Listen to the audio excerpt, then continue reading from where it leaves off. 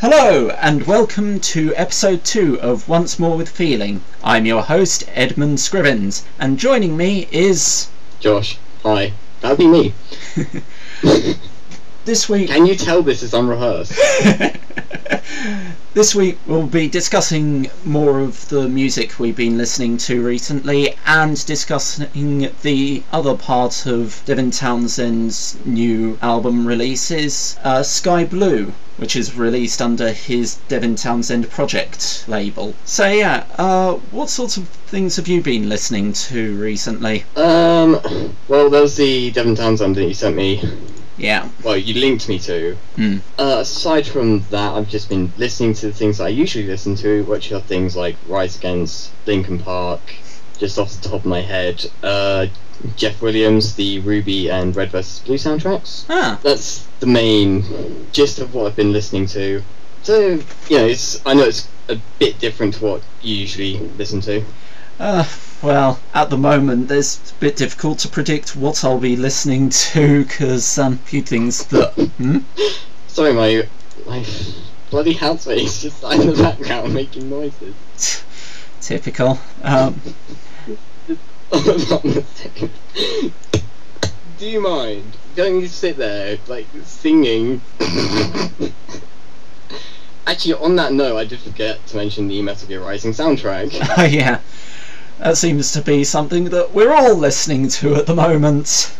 It's it is catchy. Yeah. That's all I can say. It's so catchy. Also, if you're finding yourself in certain moods, it does help as a sort of uh, I need something to just kick my brain into rage gear. Yeah, like I turn on that soundtrack and suddenly I can just get stuff done. Yeah. But yeah, that aside, um, yeah, it's a bit difficult to predict what I'll be listening to because um, a few days ago I decided to listen to some Nelly Furtado of all things, which at one point I would have classified as a guilty pleasure, but now I just listen to it because I want to. hmm, that's fair enough. I mean, I can't say that I do that myself. hmm I mean, I don't think I've actually listened to anything by her, so Um, I just got curious so one day because all I'd really heard of hers was like uh, Man Eater and things like that. So I got curious about what other stuff she'd done, and it's actually really good. Uh, Um, ah, give me a sec, um, because there's a few things of hers that I would genuinely recommend. Uh, Turn Off the Light is quite a good one to get into, as is uh, Mano Salar. God, that was a horrible pronunciation. It's been a while since I did Spanish. I yeah, I thought you slipped into a bit of Welsh then. a bit worried. Well, it's not really Spanish. It's more. It is Portuguese. So, and Portuguese is like a mashup of the two languages. Mm. Apologies to any Portuguese listeners. That's just. Apologise to everyone we offend with this. well, last week I was pissed. I was offending Coldplay, Radiohead, Nickelback, and um, Linkin Park fans. So, the last of which is incredibly ironic, considering. Incredibly ironic. And thing is, I'm just sat here looking at my iTunes list now, and it's just Linkin Park all the way down. Well, also two of the key things that um, I've been listening to recently have been My December and A Place for My Head. See, going back to guilty pleasures, the only thing I'd say that I've re-listened to as a guilty pleasure that I really consider I've got it there and it's not really something I should listen to but sometimes I do is probably like the all the two songs I have from Paramore. Ah. Never been able to get into Paramore, though it was one of those. Something about their lead singer's voice just put me off quite a bit. Mm, it's like it's one of those things where it's like I kind of like it, but I also know I kind of shouldn't like it at the same time. Yeah, it's like, well, uh, an incredibly guilty pleasure of mine is um, Last Friday Night by um, oh god, her her name has suddenly escaped my brain in a bid to Yep. Yep. preser- in a bid to preserve my dignity. Um, oh God, what is her name? See, I can't remember the name of the Oh. actual song, and it's annoying me. Mhm. But the other thing that I've been listening to, just ironically, is uh, "Smoke Weed Every Day." Oh on Snoop Dogg. Yeah, because I'm, because yeah, people won't know because they won't see my face. I'm like the whitest guy in the entire universe. I could not be less gangster if I tried hard. So I'm just sat there, you know, smoke weed every day, just doing the thing. Yeah, I mean, it's rather disturbing. I'm probably blacker than you, and I, you probably are. I mean, most people are, to be fair. then again, it's really weird. I've actually recently gotten into a lot of Eminem and things like that, and it's all like, wait, what happened? I used to be just metal all the time. What? I, I don't get what's going on. What is this? Like, I, I figure I'm fine until I start wearing copious amounts of gold and referring to people as homies and bitches, depending on gender. It's at that point where I know I've crossed the line, and I'm probably going to get shot. Either that, or everyone's going to dogpile you and just tear the gold chains off. No, it's a surreal experience though, playing League of Legends while listening to Snoop Dogg. I've got to try. is. I've got to try that at some point. And again, a while back I did have quite well. I was playing World of Warcraft and had um, Bloodhound Gang playing, and it was one of those what? This does not fit at all. It was like um, Magna Cum Nada that I was listening to, and it was just all like, yeah, this does not fit at all in any way. Um, and So yeah, guilty pleasures. and I remember the name Katy Perry. oh, there we go. Yeah, and it's one of those. Why do I like this? I hate Katy Perry. I was forced to listen to her whilst I was doing my job at Chessington World of Adventures. She's crap. Why do I enjoy this? It's weird though. It's always the stuff that you shouldn't like. Yeah, it's like um, I'm just gonna put it out there. I absolutely hate Lady Gaga. Uh, I Because you, you couldn't have guessed that.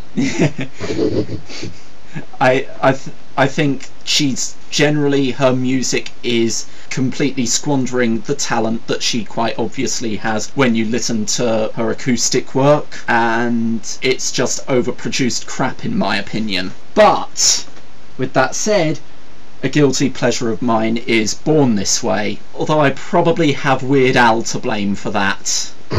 It is very weird.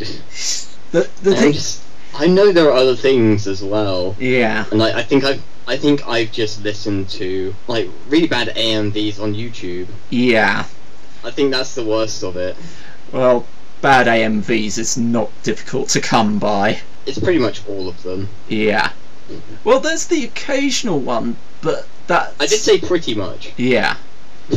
That's. let's just qualify that. Yeah, but it's generally ones where the song really fits in well with the visuals, like um, one anime that uh, I've seen an AMV of, uh, Azumanga Daioh. Alright. Um, now, there's a teacher in that who is a bit of a perv, to say the least. And um, because of this, someone took clips of Azumanga Daioh and synced it up with the Oingo Boingo song, um, Danny Elfman's old band.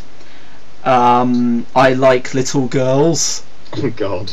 and it works so perfectly, but at the same time, you're just going, oh god! It works, but oh god! yeah. It's like just because you can do something doesn't mean you should, but dear god, what is this? Yeah, because the chorus and the opening line is, I love little girls, they make me feel so good. And Yep.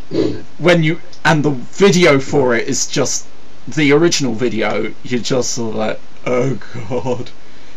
Because it opens up with this Girl Scout or something like that going from door to door and ringing on doorbells and go does this three times and the third time is when Danny Elfman opens the door and bursts into song with that. And it's one of those at the end you just have the girl turn around slowly in shock. Yep. Because you would. Danny Elfman. Yeah. Danny Elfman just. I, I'm not. I'm not sure that this conversation is great in or out of context. That's the thing. I'm kind of worried. Where where do we go from here? I don't even know. It's like the end of. Oh, God. It's like the end of the Buffy musical. Where do we go from here? Oh, don't tell me there's a Buffy musical. Well, it's actually in the context of the series. One of them accidentally summons a demon that causes everyone to burst into song. That's actually pretty funny. Yeah. It is actually. It's not like someone took Buffy and put it on Broadway or anything like that. They just. They basically did a Rocky Horror style thing. Ah, okay. Um, actually, that ties in with the title of the show, Once More with Feeling. Bringing it back, bringing back. Uh, Bring it back. somehow. Um, we should probably get to discussing the album because we kind of we went on some weird tangents there. Yeah. I'm not really. Th- This is why. This is why. Um. That's why we don't listen to Snoop Dogg. Yeah. Otherwise, oh god, there would be so many tangents. Otherwise, you will get beaten up and have all your jewelry stolen. Just summarise my part from the last last ten or so minutes. yeah. Meanwhile, I just confuse people with songs about paedophilia. Yeah. Moving swiftly on.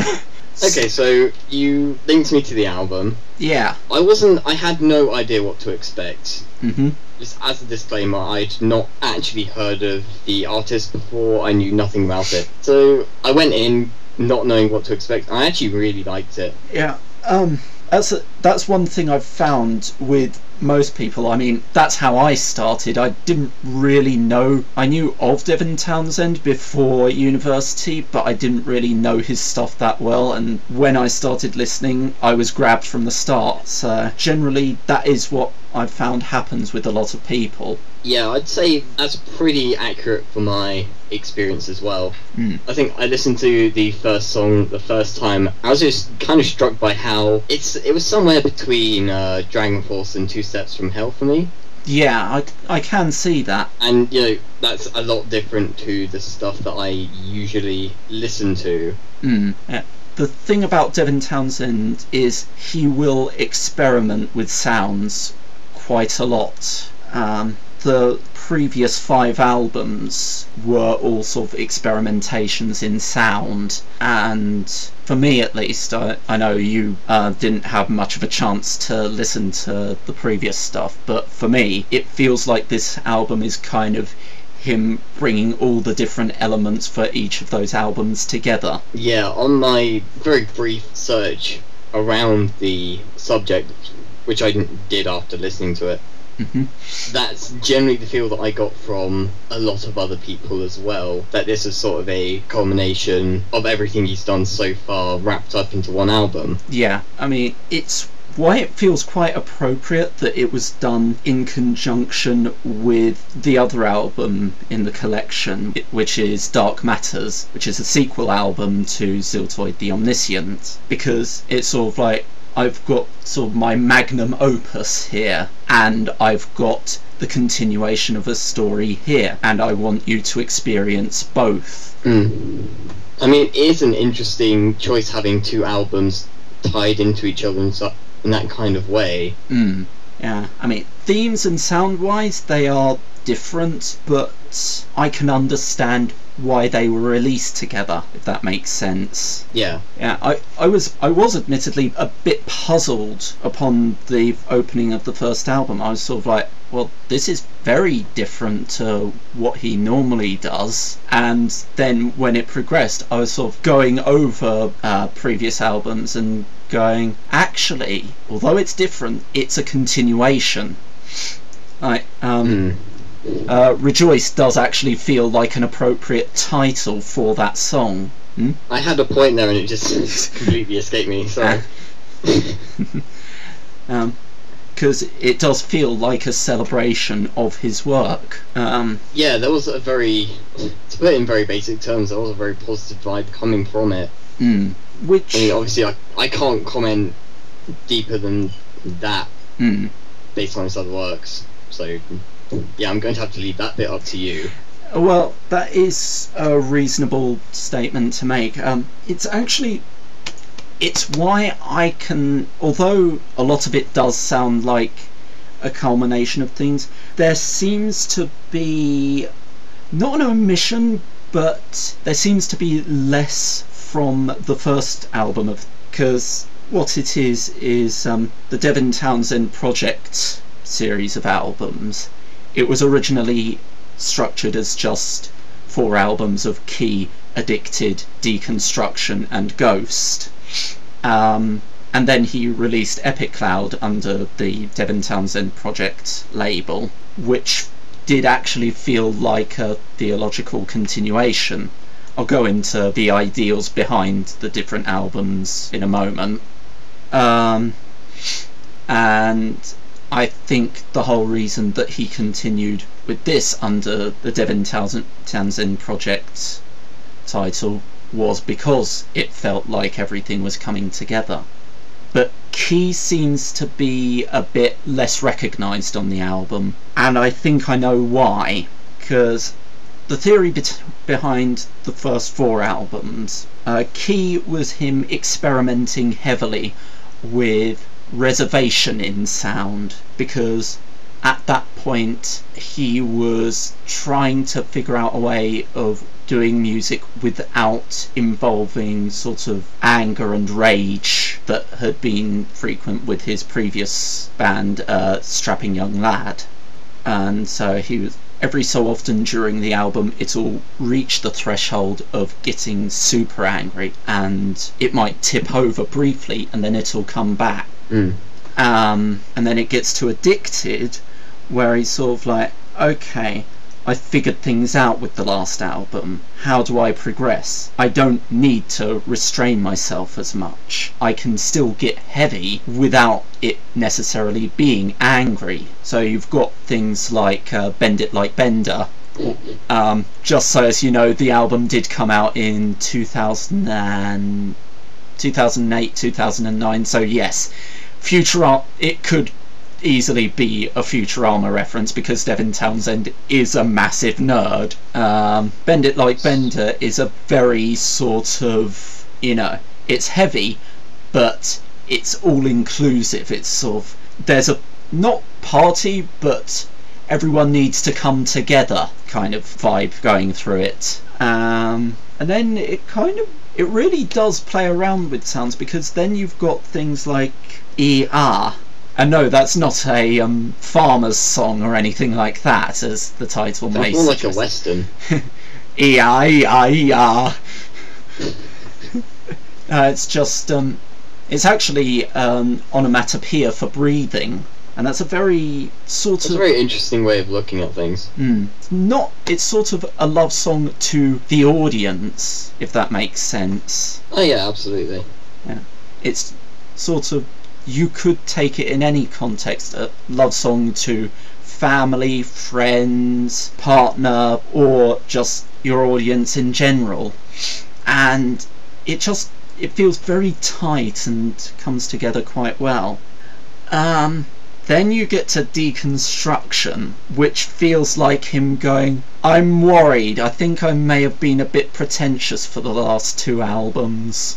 Okay, we need to break things down a bit. We need to get back to roots. And so it do- that album gets a lot heavier and that one I'd say Sky Blue draws upon the most in terms of sort of rhythm and tempo and things like that. Um, also, there are a lot of sounds that are drawn upon, but basically, the theory behind that is you can deconstruct and deconstruct, and eventually, what you'll have is something completely meaningless. So, yeah, okay, I may be getting back to my roots, but I can't just dismantle myself like that. I need to still progress with sounds.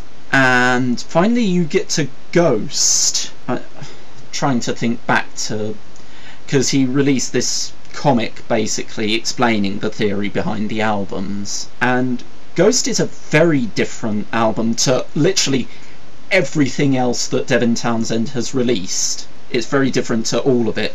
because that's more world music kind of sound. Okay, I'll be honest. I don't actually know what world music is.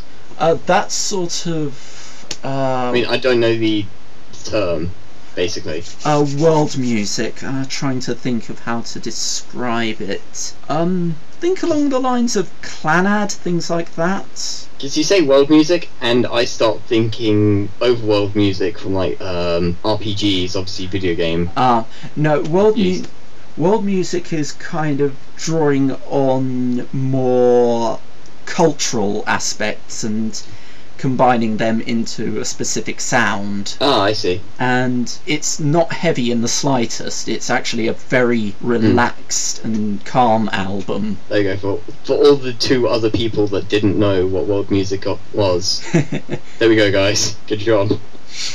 But uh, basically, that album is him going, okay, I've done the heavy stuff, I've done the reserved and pop metal, and I've done all that. Now let's see how I can be completely different and just experiment with sounds and see if I can do something that's calm and more cerebral. Mm. And so it's sort of like saying, in the end, you can have all this heavy, heavy stuff, but you do need to find time to relax and just let yourself go. Yeah, I mean, what I will say about Sky Blue as well was that it didn't feel to me to be. It didn't feel like it was like edgy, heavy. Yeah.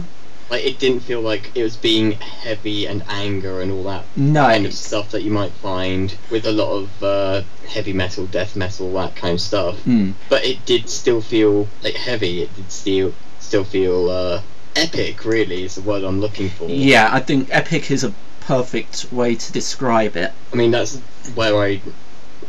That's where I think it really overlaps with uh, things like Audiomachine, Two Steps from Hell, Hmm. all that kind of stuff. Yeah, and it definitely feels like a step forward for him from my point of view. It's sort it's going, okay, I'm bringing all these elements together, but I'm still going to add in other things like um oh, trying to think which song it is, but some of them feel like he's drawing upon uh, say uh, Rob Zombie's sort of sound. Um, just give me a sec. Um, yeah, Silent Militia feels a lot like it draws upon aspects of Rob Zombie's music at times. Mm. Not his heaviest stuff, but more sort of, well, things like Dragula and um, stuff like that. It feels like he's taking influences from.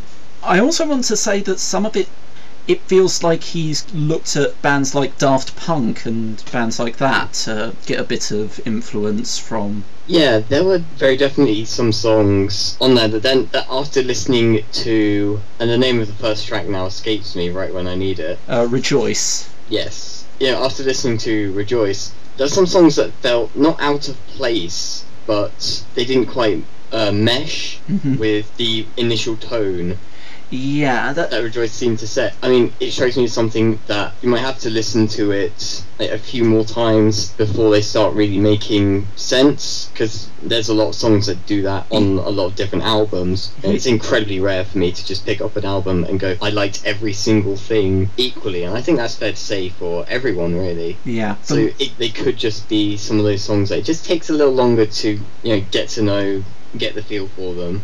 Yeah, I mean, for me in particular, uh, Forever didn't feel quite like it meshed with the rest of the album. It Mm. the sound it felt well. It's not so much that it didn't mesh as much as the placement didn't seem to work right. Yeah.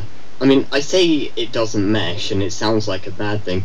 Sometimes that dissonance can be good. Mm. You know, I look at uh, Siren Song for the counterculture, for example, from Rise Against, and you've got things like the first drop and Life Less Frightening right at the beginning, which are kind of like your typical fare from Rise Against. hmm And then later on in that same album, you've got Swing Life Away, which is you know, completely different, but you know they all they're all still sat there, they all still work. I think it's much the same case here of it's a different kind of song on the same album. Yeah. It just takes a little more time to get used to it.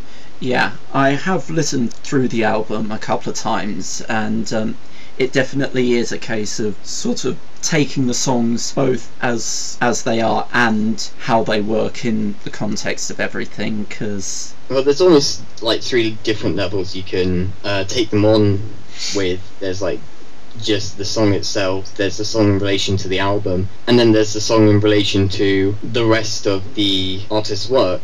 yeah i mean forever does still feel like a devin townsend song it just at the moment and as you've been saying sort of give the album a listen through a few more times. Um, at the moment it doesn't i would have personally placed it as an end track because that's the one thing that i find most jarring about it because it's in between two fairly heavy songs. Yeah, and then it's quite a light one in comparison I mean, it might have. Talking out my arse, it like I know anything about uh, musical composure. it might have worked better, possibly at the very end, yeah second to last. Yeah, though it's only third from last, so. But putting it between two heavy songs, Hmm. Yeah. it can be a bit jarring. But then maybe that's the point. I. Knowing. I don't. I don't know because I didn't do a massive amount of well, knowing. research around it. I'm afraid. Well, knowing what Devin Townsend can be like, I mean, um, I have actually talked to him, so I'm able to. This isn't just me assuming. I'm able to go, oh, yeah, well, he does like to play around with things.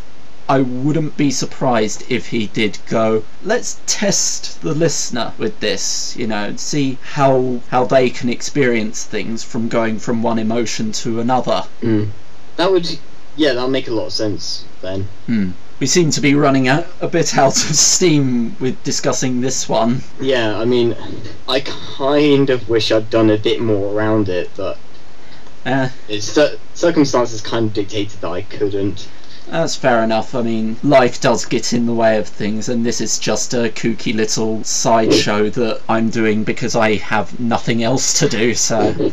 That's fair enough. Yeah, uh, for the moment, might as well start wrapping things up. Yeah.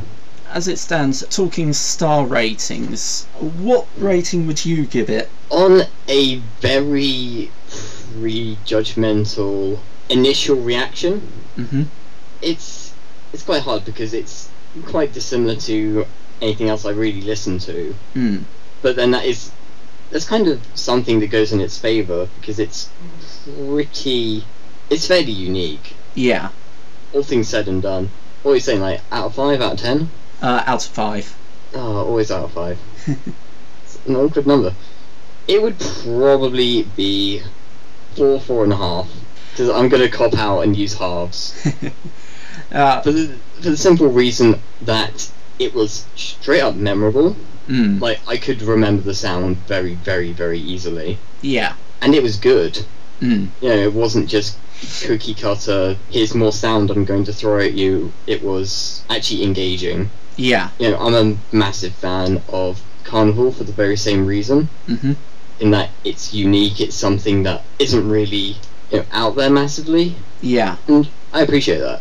It's good, I Yeah. think, in my opinion. Yeah, I'd, I'd be inclined to give it the same sort of ratings of four, four and a half. Maybe on. Gotta say the half because four feels a bit weak. Yeah. Yeah, I mean, maybe that rating might actually increase after repeated listens because it is a, a very good album, and as you say, the songs are memorable, and they don't. Nothing feels like it blends into each other, which I find is a problem with a lot of albums these days. Yeah, I mean, I don't think there's really any two songs that after quite a few listens I'd just straight up get confused because they're similar. Yeah. Yeah. One thing that does surprise me, because um, for production of this album, uh, for one of the songs, uh, Before We Die, he did what's known as the Universal Choir. I mentioned this uh, the other week, which is basically him going to the fans, here are the lyrics, here's the raw file, record yourselves singing it, and you might end up on the song. Okay. And what surprises me is that he didn't do it for the song Universal Flame. Just given the name alone, that's kind of the one you'd expect it to uh, turn up on. Yeah, I was very surprised. It's sort of like, wait, this is called Universal Flame. and yet he doesn't have the Universal Choir on it. Huh. Then again, he doesn't go predictable, so on the one hand it's surprising, on the other hand it's Devin. Yeah, it's it's just him Hmm. doing his thing. Yeah. Um. So I mean, I, I don't really have anything else to say about it. I thought it was definitely solid. yeah. What I think it was trying to do. Yeah. Very definitely enjoyable. Very definitely good. Hmm. Now I just wish I wasn't a poor student so I could actually buy it. well, um, you never know. Uh, considering how often HMV has sales and whatnot, you might get lucky. Yeah, maybe.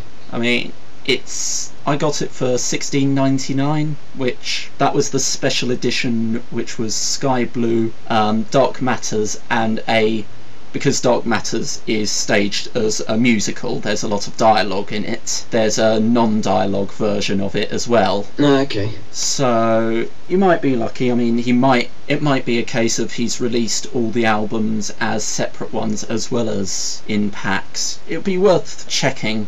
Good to know. But yeah, uh, at the moment, would you be able to say any particular song being your favourite from the album? Having listened to the album a couple of times, hmm God it, it's gone again. Rejoice. It's the opening song. Yeah, that's Rejoice. Rejoice, there we go. I keep thinking it begins with J and I'm like, Justice? No, no, that's not it. Trying But um, yeah, that's the one. You know, it's going to be good because the very first song just instantly hooks you, Mm. and it's the one like I keep coming back to when I think about the album. hmm And while I think that's a natural reaction, or should be a natural reaction for any album, hmm I do come back to it in a way that I think this could well have just entered my top five of literally like every song ever. That's so That's you know that's impressive. a bit of a that's a bit of a strong resonance there. Yeah. Um, personally, I my personal favourite would be Universal Flame, just because that's a sort of song that really resonates for me as a you need a song to make you feel better. Have this, and those sorts of songs really grab my attention. A song that you know doesn't matter what mood you're in, you can just immediately gravitate towards it. That sort of thing really and that would actually again potentially enter my top five so yeah we've got quite high praise for this album it seems Yeah, yeah, it was. As I said, it is something pretty pretty new to me. So it's something I'm definitely going to have a look around. You know, see what else, what the other things are like, and who knows? I could come back to this a a David Townsend expert. So devin townsend Devin, my uncle's David. I don't know what I'm doing anymore. yeah, I could come back an expert and actually get his name right. well glad to know that i've encouraged a new fan anyway uh might as well wrap this up um, quite Yep. a bit shorter than last week's episode but considering that it's all just us doing things on the fly the length of episodes is going to be random so yeah that's goodbye from me And I guess that's goodbye from me. and tune in next week if things go accordingly. Bye.